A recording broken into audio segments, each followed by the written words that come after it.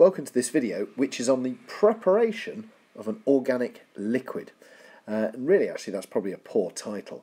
Um, it should be, well the focus is on not the preparation but the purification of an organic liquid. And this experiment probably looked at in the lower sixth of your A-level course. And in this experiment, uh, certainly my students turned 2-methyl propan-2-ol into 2-chloro 2-methyl propane. Uh, so here is our reactant.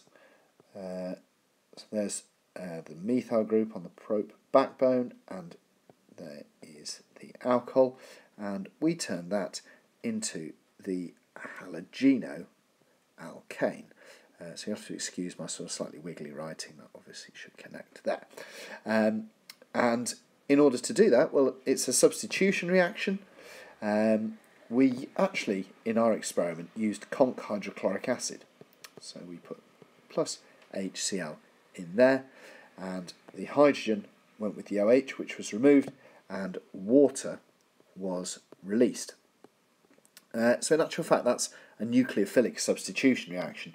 Uh, the chloride ions in here act as the nucleophile, which are attracted to the delta positive carbon. Uh, but the OCR syllabus uh, states that the halide ion um, comes from a mixture rather than rather than you just using conc HCl. Um, it talks about using a halide salt in the presence of an acid. And the example that they gave was sodium bromide in the presence of conc H2SO4. And those two react together to produce hydrogen bromide. So rather than reacting sodium chloride with H2SO4, which would, it, would have made HCl, we can just use conc HCl, uh, which we can get out of a stock bottle in the prep room. So that was the reaction that was carried out. And so what you're left with at the end of the reaction is your product, some water, and maybe some leftover hydrogen chloride, uh, which would be dissolved in the water. And our challenge really is to get a pure sample of this organic liquid. And that's what the emphasis of this video is on. How do we get a pure sample of that liquid? So, I'm going to talk you through the steps that we would do in the laboratory. Uh, and it will be helpful if you've downloaded the PDF file um, which goes alongside this video. Um, if not, you'll just have to work through on the next slide with me. So the most important piece of apparatus in the separation of this haloalkane from the reaction mixture is a separating funnel. So let's have a look at what a separating funnel looks like. Voila! Here's our separating funnel. So you can see here uh, that it's a funnel with a tap here and a very small hole here and an open end here which can be stoppered. And so this is excellent for putting liquids in, shaking them up and then allowing them to separate. And most liquids, or sometimes a liquid, will separate into just a homogeneous liquid. In other words, you can't see any any difference in the liquid. It looks it looks consistent throughout. But some mixtures might separate into distinct layers. And that's where the separating funnel comes in handy. Because what it allows us to do is then open the tap. Let's imagine we've got two layers in here, layer one there, layer two up here. We could open the tap here, and that allows the bottom layer to drain through. And we can choose what we do at that point because we've then got two separate liquids. We've got the top layer left in the separating funnel, we've got the bottom layer left in a beaker. And you might want to keep the bottom layer or you might want to keep the top layer, but you can choose at that point. So a separating funnel is extremely useful when the liquids are immiscible. And our halogenoalkane is certainly not miscible with an aqueous layer. It does not willingly or it's unable to form hydrogen bonds. So the aqueous layer sticks together quite closely and the haloalkane layer therefore sticks together quite closely and does not mix with the aqueous layer. So our first step on the separation is to put the reaction mixture into the separating funnel. So you put it in and then you stop at the separating funnel and shake it. Now when you're doing that, you don't shake it for very long. You shake it for a moment, okay, and then you either take the stopper out or you turn it the, the funnel with the stopper in upside down and release the tap. So I've just put here, remove stopper and allow mixture to settle. And the reason you need to take the stopper out very quickly is sometimes when you shake this, gas is released. And if you leave the stopper in, you're likely to cause a small explosion. Um, so you might want to shake it several times. Okay, but then you allow the mixture to settle and you should then get your two distinct layers. And in our experiment, we want the upper layer because the upper layer is the haloalkane. The haloalkane is less dense than the aqueous layer. So what we will do is we'll allow the mixture to settle, then open the tap and drop by drop allow the aqueous layer to drip through and when the haloalkane layer gets the tap, we'll turn the tap off. Now, within that haloalkane layer, there may have been a little bit of acid residue left on the inside of the separating funnel, or a tiny bit of HCl might have dissolved with the haloalkane that you've made. And it's important we get rid of that HCl. So what we then do is we add some sodium carbonate to our mixture. Now, we might as well keep the mixture in the separating funnel. So we'll put, uh, we'd have our haloalkane in there, and we'd add into it some sodium carbonate solution.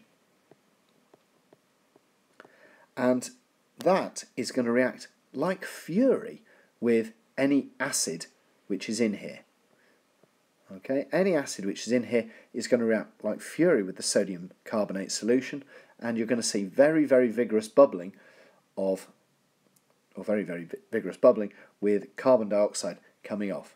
So when you're doing your shaking, you'd only shake for a moment, take the stopper off, and allow any carbon dioxide to escape. Shake it again, carbon dioxide to escape, shake it again. And you'd keep adding the sodium carbonate until you saw no more effervescence. So you know all of the HCl has reacted with the sodium carbonate.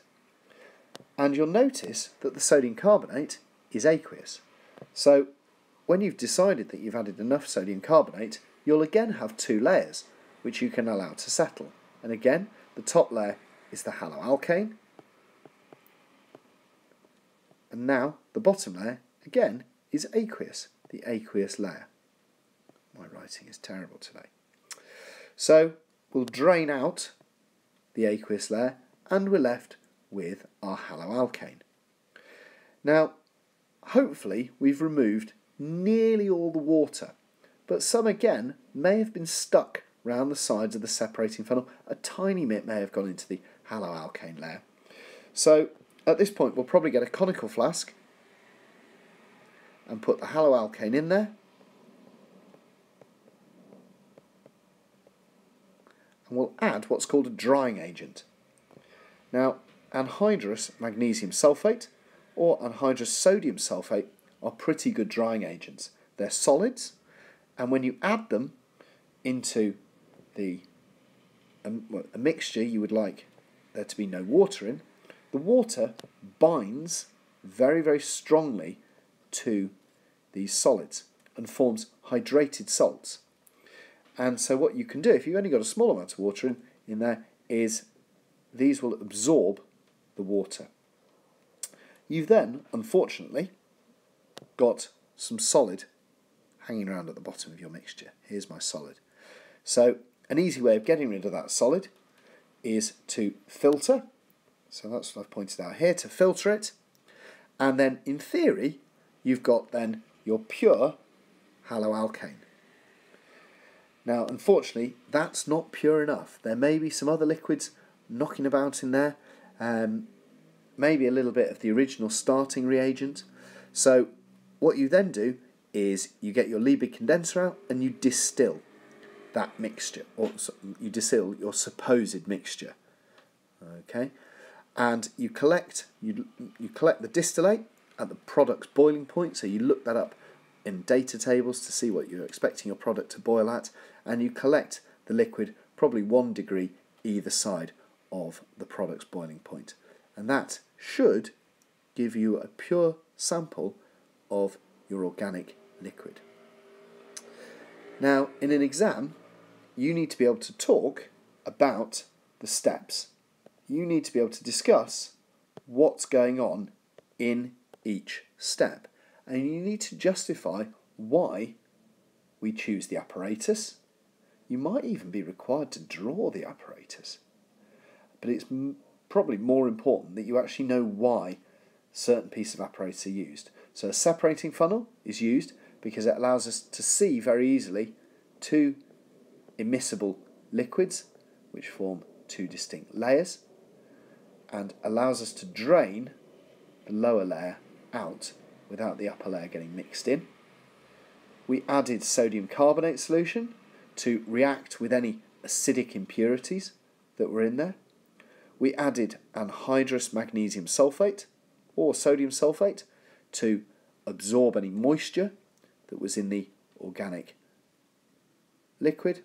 And then our final purification stage to ensure that we only get a pure organic liquid was to distill. I hope that video helps. Okay, please make a flowchart of your own, annotate it with really scruffy diagrams if that helps, and please do learn this.